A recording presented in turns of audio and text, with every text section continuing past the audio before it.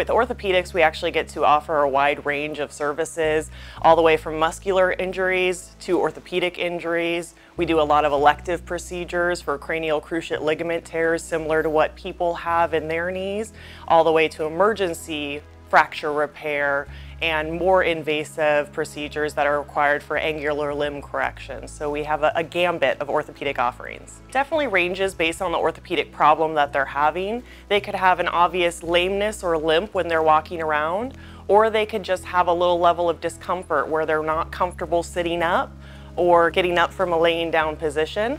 They may be reluctant to climb stairs or get into the car. Those can be some of the earlier signs of orthopedic problems. The first thing that any owner should do is really talk to their primary care veterinarian. The primary care veterinarians are our initial screening veterinarians to know where the problem is located and what area of service is best to investigate the problem further. It could be orthopedics or it actually could be a neurological problem. We usually don't take walk-in patients. We really do love having a primary care have a relationship with that client. That way they have a whole systemic evaluation of the pet, keeping up on the preventatives, and then we tackle the orthopedic issue specifically.